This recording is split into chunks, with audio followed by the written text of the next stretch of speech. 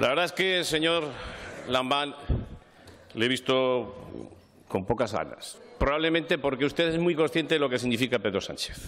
Su, reunión del pasado 8 de octubre no ha traído ninguna consecuencia positiva para los aragoneses. Sánchez, usted es consciente que es un presidente débil, es un presidente a la deriva, es un presidente con poca capacidad de compromiso en estos momentos.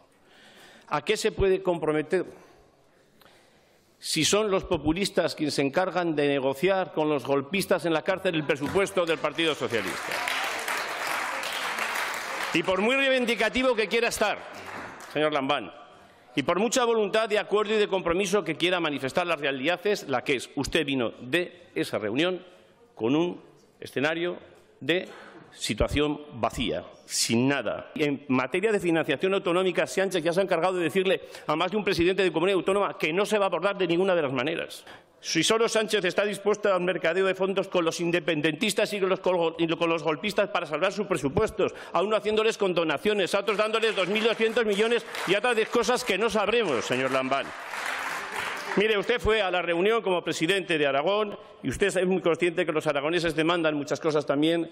Yo estoy convencido, señor Lambán, que el mejor compromiso que debería haber usted eh, eh, conseguido, obtenido del señor Sánchez es haber convocado elecciones generales. Y bien sabe usted que tengo razón y que usted lo comparte conmigo. Muchas gracias, señora presidenta. Gracias, señor.